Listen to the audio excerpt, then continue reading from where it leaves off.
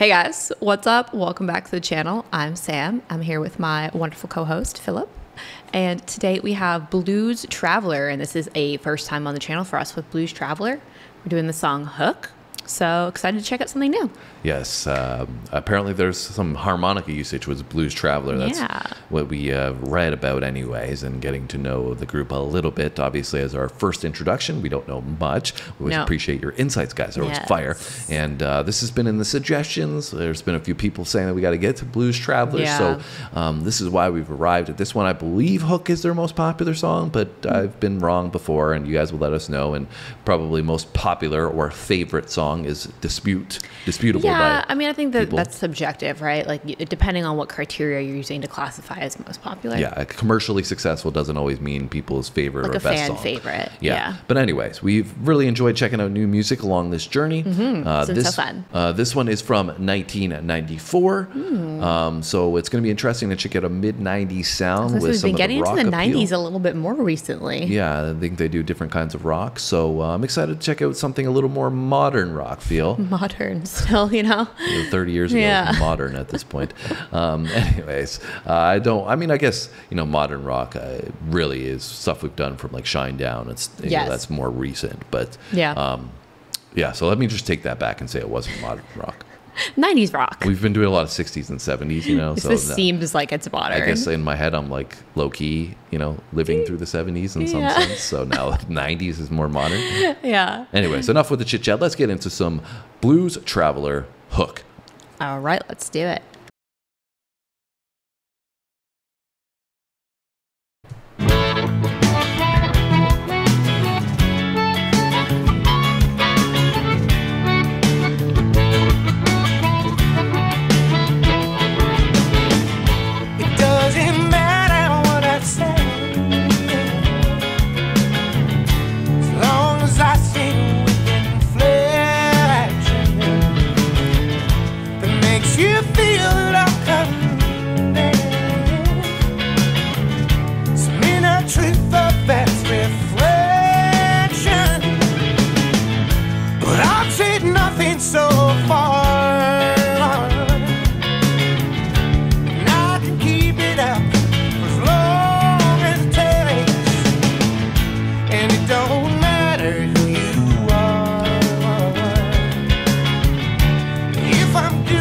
it's your resolve that breaks.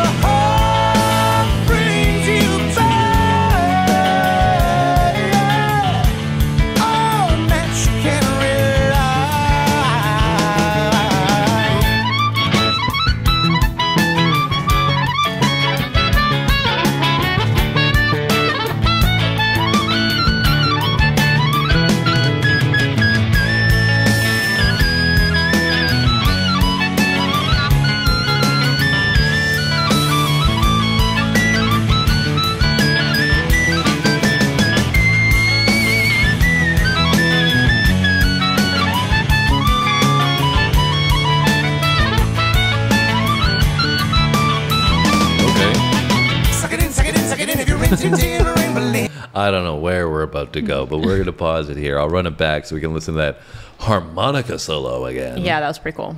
Have you heard many harmonica solos in your life, Samantha?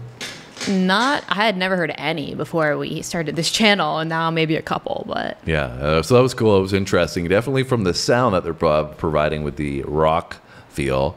Um, you know, I can't say I've heard many of the 90s rock sounds that mm, didn't No. incorporate a harmonica. So definitely not the 90s rock, that's for sure. definitely a unique as a part of their genre mold.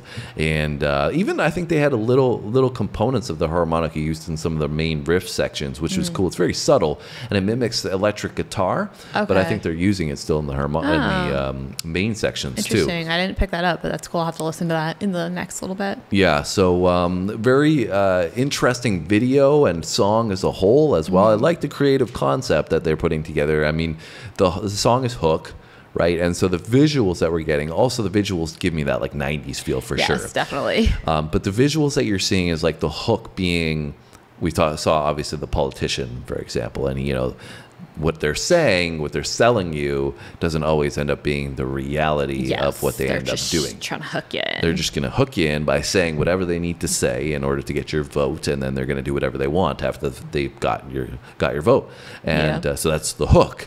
Yeah, right? and in the beginning, right, he was saying that like it doesn't matter what I say. I could be sitting here and saying anything to you. Like I'm, I haven't even said anything in this entire verse, but just using the inflections in my voice and the way that I'm conveying what I'm saying is hooking you in and making you want to listen to what I'm saying, even though it's a bunch of nonsense. Yeah, and so you know the theme there obviously maybe a little bit of satire for the music industry as a whole, being that, like you said, I'm just using inflections. I'm not saying anything in this verse. Yeah. You're still going to like the song And listen The- to what I'm saying, and it's still going to be popular because as long as the hook sounds good, that's all that matters. Yeah. And even from the visuals, so as well, I don't know what they were conveying, but I was wondering if maybe it was this cliche of this pretty girl. Yeah. Right. This guy is looking at a pretty girl and doesn't care what she has to say or think or anything. Yeah, it's just, just like- she's just pretty, being you know that's the hook Yeah. for him. Yeah. In that instance, so they're you know speaking to him in light of that, and he's just like, I don't care what you're saying. You just look good. Yeah, and I'm just gonna sit here and drool over you, basically. Exactly. Yeah. So I've been rambling for a while now. Any thoughts that you'd like to add?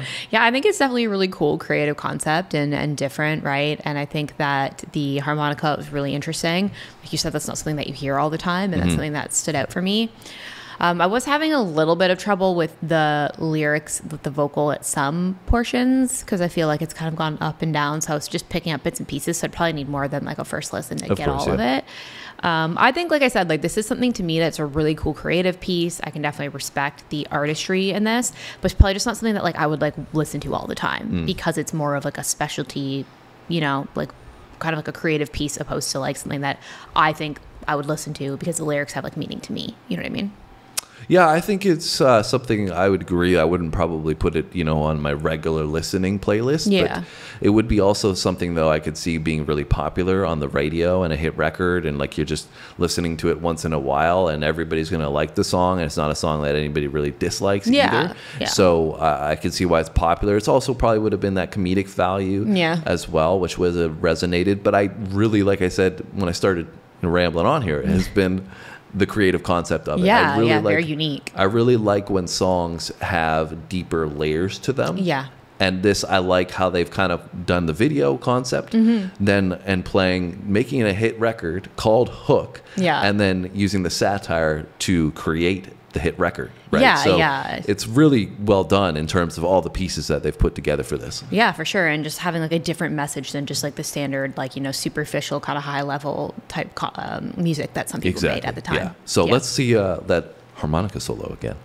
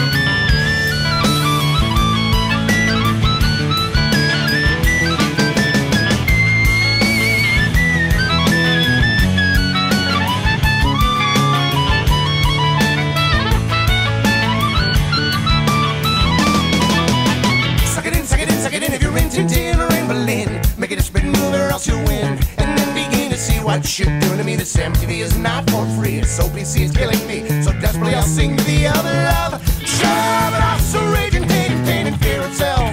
And I can't keep these feelings on the shelf. I've tried, well, no doubt I lied. Could be financial suicide, but I got too much pride inside to hide or slide. I'll do as I'll decide and let it ride until I've died. And only then shall I abide this try to catch little tunes of 50 minute ditties. I wanna bust all your balloons. I wanna burn all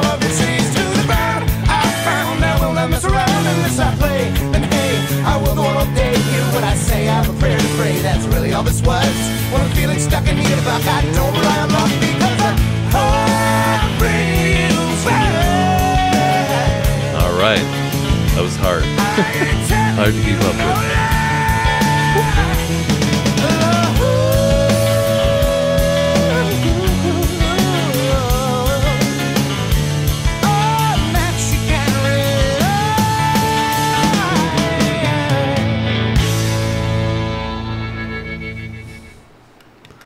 So interesting that uh, he had a Civil War book at the end because we just did some Civil Yeah, War videos yeah, as well, learning about that. So you gonna say something? Oh, I was just gonna say, I feel like continuing to watch that. I feel like with the because we were talking about the video at the halfway point. Yep. And I feel like you were talking about obviously the concept of what he was saying about the girls and the the politicians, which I think is definitely accurate. But I also feel like the overarching concept too is like because they kept showing that guy just sitting on his couch, right? And it's like people will just sit on their couch forever, going channel to channel to channel until they see something that hooks them in, mm-hmm. right? And then they'll sit and listen, regardless of how accurate or informational it actually is. And then, oh, I'm over it. Next channel, next channel, next channel, next channel, right? And that's kind of the concept of the hook, because it's like you just keep going rotating through until you get hooked, and then it's always the hook's going to bring you back to get your attention. Yeah. So it was like three layers Yeah, on that. It's crazy. they put together from Yeah. the visual and the the audio Yeah. components. So uh, very well done from a creator. I'm really impressed by the song overall Mm-hmm. And the, and the video as well. That they did a great job in conveying that message. And Yeah. um, like you said, I think that's totally accurate. You know, people tend to just try to find something that they can mindlessly watch, and then at the end of it, that's why it's like, no, I'm actually going to learn about something that might be a little more valuable Yeah. than wa- reading a book. Exactly. And also like being somebody who is a very visual person, I really like when the music video for a song like really connects with the song itself. I feel like there's a lot of music videos out there that are kind of just like random, not that they're bad, it's just that like they don't really in my opinion have like a super deep meaning Yeah. in connection with the song itself, right? Whereas to me like that was like a perfect um, example of what they were talking about. Yeah, and I think even you know what they talked about is representative as mu- for music as a whole today, right? In that we're doing this reaction channel and you know reviewing music or you know certain media aspects that we haven't been exposed to, but we're diving deep into it and trying to really appreciate, like Yeah. you said, the meaning of it, or Yeah. really listening to the intricacies of the music, or you know trying to appreciate like with history, you know the details of that. So we're you know it's not just mindless that we're we're doing this with, right? And I think that's why music in particular was listened to in depth. You'd throw the record on and you'd kind of just, you know, chill in your room with your buddies or or with your buddies at a party or something like that where you'd really listen to it and be like, Yeah. "Oh, that was great. That was so cool. Did you see how they did that?" Right? It was a, an experience. It was a listening experience and you appreciated the musicianship and the artistry. And now so much it is just background noise that we throw on to you know, do something while we're doing Have something. extra stimulation in our ADHD brains that everybody has these days. Exactly. So I like when we do this because we get to sit down and really, you know, deep dive into what makes them special and uh, really Agreed. appreciate it for what it is and Yeah. spend time together while doing it.